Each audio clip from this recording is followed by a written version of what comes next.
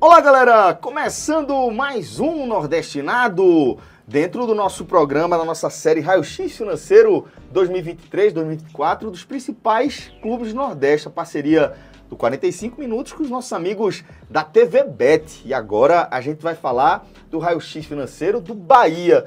Maestro Bahia, que fecha o primeiro ano completo nessa versão SAF. E eu diria que dentro dessa nossa tarefa de tentar dar uma esclarecida né, tirar, desatar o nó que vem normalmente com esses balanços financeiros, acho que essa vai ser um dos nossos, esse vai ser um dos nossos maiores desafios, né? Um pouquinho complexo aí analisar esse Equação Bahia. Né? de segundo grau.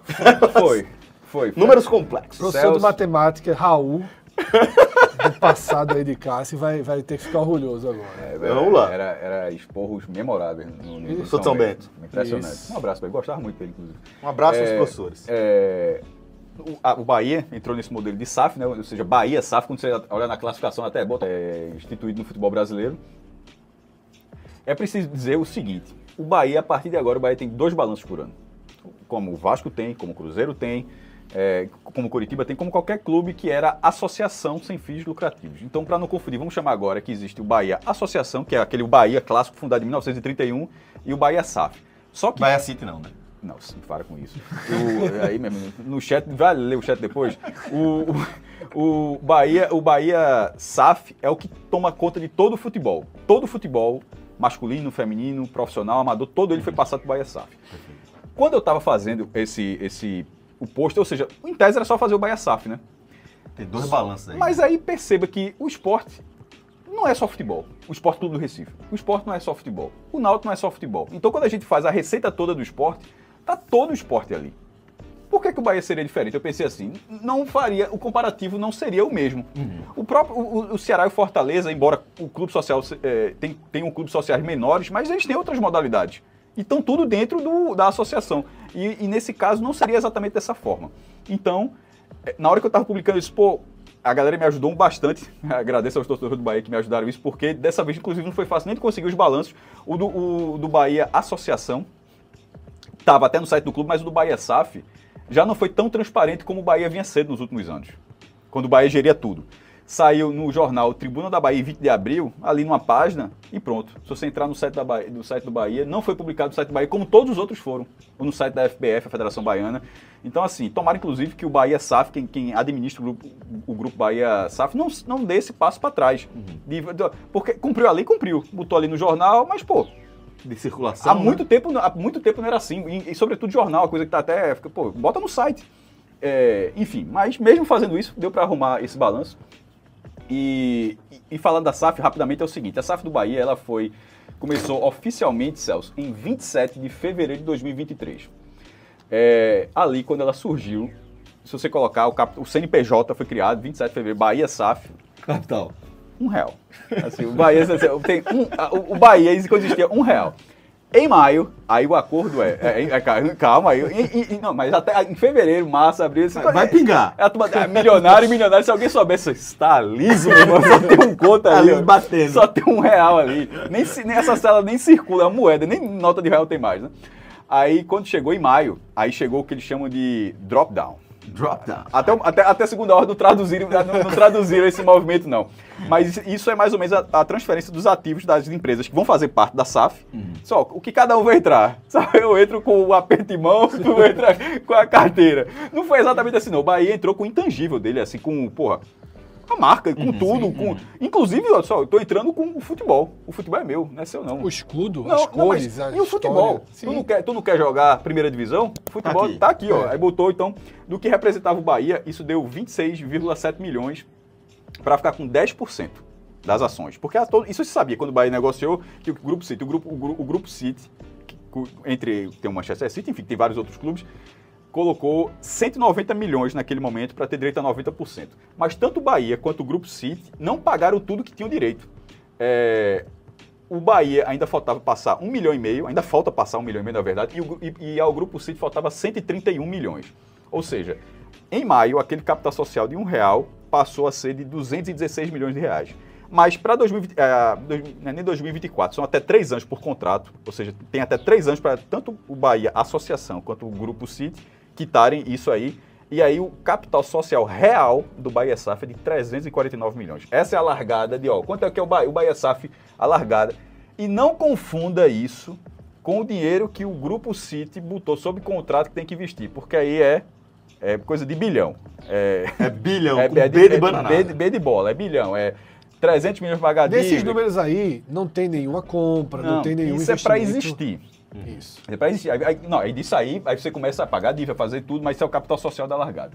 Acho que esse, eu, tô fazendo exatamente do texto que eu coloquei, porque nesse primeiro momento eu achava importante primeiro entender o que é, tá ligado? Porque nem, a gente tá falando de uma coisa nova e no caso do Bahia, se, se partisse do zero, a GESAF, como se todo mundo soubesse, tem que entender que é uma empresa nova, é um CNPJ diferente, o do Bahia continua existindo, só nunca mais vai jogar futebol. Assim, é, mas ele continua fazendo parte, tem 10% e 90% do Bahia. Aí nisso eu consegui, do, do grupo, né? Grupo City tem do Bahia SAF. Eu fiz separado dos dois. Tanto do associação, a gente vai chegar no final para somar o total. Mas se você colocar o Bahia SAF, quem comandou o futebol? O Bahia, o futebol, como é que foi o futebol? Teve 176 milhões. Aí tu fala, peraí, meu irmão. O Bahia não gastou 100 ano passado só de contratação? E aí é o tipo de coisa que a gente sempre fala aqui, que né, um dos objetivos desse programa é tentar, tentar mostrar, dar um pouco mais de clareza a alguns números. Aquele dinheiro não veio disso aqui. Hum. Esses 176 milhões é que o Bahia SAF gerou, ele mesmo gerou. Esse 176 tem lá, direitos de TV. Teria, o Bahia, se qual fosse o Bahia, não teria, receberia, pronto. Só que o Bahia Associação não passa a receber o direito de TV. O futebol não foi pro outro, então o direito de TV passa a SAF. ser recebido por quem Isso. tem o futebol. O patrocínio de camisa, Tudo, exatamente, vai tudo para lá. Então, patrocínio na camisa, o dinheiro dos Renda. sócios, tudo, Que aí, tudo, tudo relacionado ao futebol. tudo vai pro SAF. Vou, vou, até enumerar aqui. Foi 76 milhões de direitos de TV, 49 milhões de sócios de bilheteria e o Bahia, ao contrário de todos os outros clubes que a gente faz, faz um só. É, isso, inclusive, vou deixar o pedido, ninguém vai atender, mas separa, porque eu nunca vi isso. É o único clube que faz. Ele junta, inclusive, sócio e bilheteria. Alô, Shake. É, ele não- ele não tá separando, não. E todos Mas os outros já era, já era, sempre fez. né? Não, não, já era. Não, mas eu tô- tô reforçando o pedido, mas já- de fato já era. Os caras não inventaram a roda, não, de fato. Já era assim antes. Sócio e bilheteria, 49 milhões. Patrocínio e marketing, que todo mundo também faz patrocínio e marketing de forma conjunta, 31 milhões. É, venda de direito de atletas, 5 milhões. Enfim, juntando tudo, 176. Se você tirar os impostos, que a, a receita líquida deu 158. É sempre importante isso, porque quando você for fazer a receita menos a despesa, não é a receita total, não. Porque lá tem o imposto, o governo, calma mesmo, tem minha parcelinha aqui. Tirando os impostos, aí sobra 158. E a despesa do Bahia foi de 222 milhões. Pronto, isso foi o que o Bahia de futebol gastou em. é, fora o, o dinheiro que já estava aportado antes. É aquela, aquela questão. do- é isso que eu tô falando. Tem que tentar entender dessa forma. Nem tudo é tão claro assim. Mas Deixa eu tirar só uma dúvida, Cássio. É, se for possível. viu? sim, os 100 milhões investidos em contratações. não está claro no eu balanço. sei, é, eles não, não foram colocados no balanço. Primeiro que esses 100 milhões chegou a esse valor, a esse valor, o Bahia antes, toda vez que comprava ou vendia, ele divulgava os números. Esses 100 milhões é a soma de tudo que o Bahia comprou com, com jornalistas dizendo quan- é, quanto apurou, Custou. quanto Às custou. vezes outro clube, Às vezes né? outro clube dizendo, o Bahia passou, no, né, sob essa nova gestão, o Bahia passou a ser o clube que bota o balanço no jornal, já Que deixa no divulga site, os números, que não né? divulga quanto compra, quanto... Não o quanto compra, né? que não É. discrimina quanto pagou, quanto recebeu. Então, esse, esses 100 milhões. Desligou talvez, a luz. Talvez não seja 100 milhões. É, desligou a luz. Mas eu vou chamar de 100 milhões. É, claro, é porque foi o número É, falado, né? Esse não conta. Mas os salários contam. Os salários estão aqui. Os salários estão aí. Só para deixar claro não, isso. certo. Não, salários, é, custeio, Certo. transporte. Não, era só para é, deixar claro que Manutenção. essa relação com os jogadores. Porque Certo, isso é importante certo, para quando a certo. gente fizer o do ano que vem. Porque Sim. em 2024 o aporte foi mais pesado ainda em contratações. Então, entender que, ah, pagou é, 25 milhões de Jean Lucas. Possivelmente os 25 não vão entrar no balanço. Mas por que, por exemplo, o Alexandre pagou? Porque o Fortaleza disse quanto Isso. recebe. Quanto... Quando o Everton Ribeiro chegar no balanço, o altíssimo salário vai entrar no balanço. Vai. O que não entra são os aportes financeiros para aquisição. Porque no, no Se- final das contas, Se a aquisição for feita pelos aportes, porque na Isso. hora que as aquisições passarem a ser feitas pela dinheiro receita do gerado, aí, ok, aí entraria entendi. aqui, mas exatamente. Mas se for feito pelos aportes, não entra. Até porque o aporte é do grupo e o jogador pertence ao grupo. Não, né? e, o- e sob contrato o grupo está obrigado a, Sim, investir meio, sim. meio milhão de, de- meio bilhão de reais em reforços, né? Ok. É, enfim, o saldo entre receitas e despesas do Bahia SAF foi de menos 66 milhões. E quando é negativo é déficit. Então a largada do Bahia, mas era esperada, tá? Assim, Sim, justamente porque. Tem que ter uma porta inicial, mais, mais não, robusta. porque, né? o Ba- porque o- a, a capacidade de geração de recursos do Bahia já estava estabelecida, era daquele tamanho. E quem chegou aqui, ó, meu, eu cheguei para gastar isso, Isso, aqui. Eu cheguei para gastar isso aqui. exatamente. Isso Então, também É esse aporte aí. era, era natural. É. Perfeito, perfeito. E, e se você for pro Bahia Associação, me surpreendeu muito. Eu achava que ia ser um valor muito menor. Porque pensa, não tem mais futebol, certo? Sim. Não tem mais. Mas perceba que a SAF começa em 27 de Era ia fevereiro. dizer, eu quero, vou- vai ser muito necessário. Ué, tipo, em janeiro ali e tal, era ainda a associação e fora Isso. o restante do ano. Aí talvez por isso esse número tenha sido tão grande. Em 24 a gente vai ver, talvez seja menor. Total, total. O Bahia Associação, é, 25 milhões. Ah, eu estou falando inclusive pela ordem de, de- de representatividade de cada um. No Bahia SAF, a TV foi 43%, né, 76 milhões. No Bahia Associação, a TV só rendeu 12 milhões e só foi 19%. O, o- a parcela, a maior parcela de receita do Bahia Associação foi, nunca ter visto isso, patrocínio e marketing. 40%, com 25 milhões. Acho que era muito contrato para receber naquele momento ali na Isso, largada, é. né? Enfim, aí 20 Esses números do Bahia Associação, é, foi muito importante o Cássio fazer o detalhamento esse ano, porque precisa da soma. Ano que vem vai ter que ter somado Mas ano também. que vem já vai ser um. Mais enxuto. Muito, Muito mais mais real, enxuto, inclusive. é. A gente vai entender muito melhor a divisão, porque um mês, dois meses, coisas que vêm dos anos anteriores. A gente vai entender bem essa relação quando a gente vê aqui É, fazendo a- a, balanço. de- associação está de 1 de janeiro a 31 de dezembro e a SAF está de 27 de fevereiro. É, a- tem, um- ainda tem dois um- meses tem- aí de tem- um tem diferença. significativo. Pronto, e, e só a receita total tem sido 63 milhões, e a- mas tirando os impostos, a receita líquida foi de 58,9 milhões. A despesa da SAF, da- desculpa, da associação, 111. Foi muito caro.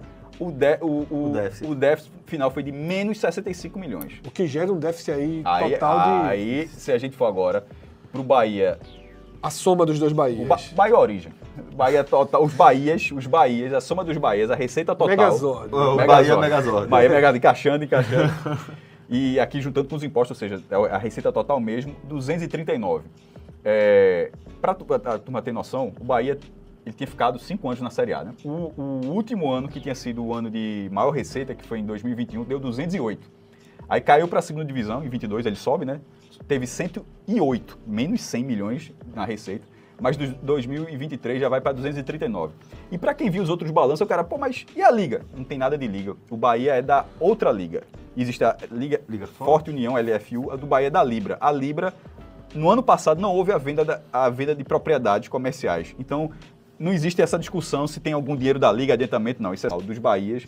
Aí deu menos 131 milhões, Celso. Impressionante. Maestro, uma coisa que eu queria destacar também é a, como o Bahia geriu também suas dívidas, né? Trabalhistas. Foi um avanço importante também nesse, nesse segmento, né? E, e só complementando o que eu tinha falado, a, a despesa só total do Bahia, 333 milhões, tá? A dinheiro a turma gastou somando o Bahia. E do que você trouxe, Celso, é, é um dos pontos que, que eu não consegui alcançar tanto do que era possível ver do balanço, mas é, dentro, apresentado na reunião do Conselho Deliberativo, o Bahia pagou 258 milhões de reais em dívida no primeiro ano. A dívida era 300. O, o- o Bahia já... Cerca de 300, eu estou dando número redondo, exa- perfe- pe- preciso não. Mas no primeiro ano do Bahia SAF, o Grupo City, o, o- o investidor né, do, do, do Bahia, quitou 70, pagou 79% da dívida do Bahia. E é liquidou dívida- esse ano, né? Não, ainda, fal, ainda falta um pedaço. Liquidou as dívidas trabalhistas. Não há nenhuma dívida trabalhista no Bahia. É, existe, existe cerca de 50 milhões, mas é de dívidas tributárias que estão parceladas ou de obrigações que já foram feitas. Enfim, qualquer- mas não é dívida trabalhista no futebol, é algo que, primeiro, a- cobra mesmo Sim. e a multiplicação é Violento. violenta. Então, zerou.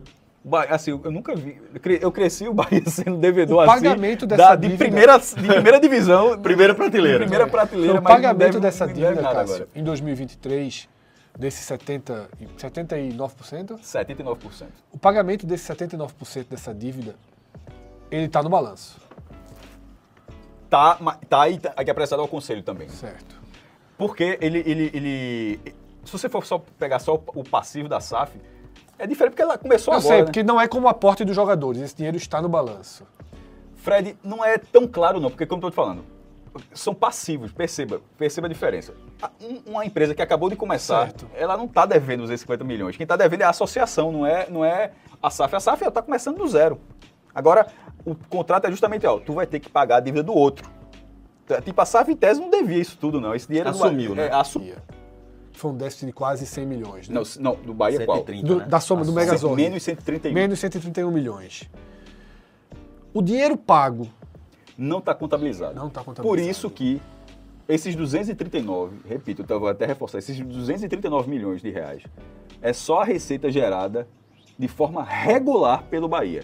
Direito de transmissão, renda de jogo, Ok. mensalidade, nem a, patro- então, não nem tem, o pagamento das dívidas, nem a contratação de não tem aquisição um de direitos de jogadores não está. Não, isso é daquele contrato de um bilhão. Sim. Esses 239 milhões de reais não tem um real que o Grupo City disse, ó, tome aqui um real. Isso Ok, tudo, entendi. se o Grupo City não tivesse chegado, isso continuaria sendo Bahia. Ok, ok, Isso ok. continuaria sendo Bahia. Seria o Bahia sem aquisição de jogadores e sem pagar as dívidas.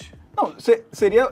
É, Isso. isso, seria sem pagar dívidas. É. Isso, isso seria o que o Bahia teria gerado de forma regular, como gerou nos outros anos. Tanto Ok. é que é muito próximo. É, exatamente, é a linha normal do Bahia. Então, né? quando se fala, como é que pagou? Pagou porque tem um aporte bilionário que é para essa finalidade. Ele só não entra na receita gerada pela associação, ele entra como investimento para, para aquele. Você. Se algum contador tiver puta aí, eu peço desculpa. Também. Deixa eu te fazer uma pergunta. Você acha que nos próximos anos os balanços, né, pela, pela forma com que o Grupo City iniciou a operação do Bahia, dá a entender que, que a transparência não vai ser não vai ser das maiores. Isso já está muito claro. Você acha que nos próximos anos, 2024, 2025, Apresenta para os conselheiros. Acho que deveria ser para o público geral, né? Também. Tem alguma expectativa que isso, que esses aportes em aquisição de direitos, em pagamento de dívidas, apareçam em algum local para o Ah, público? tenho sim.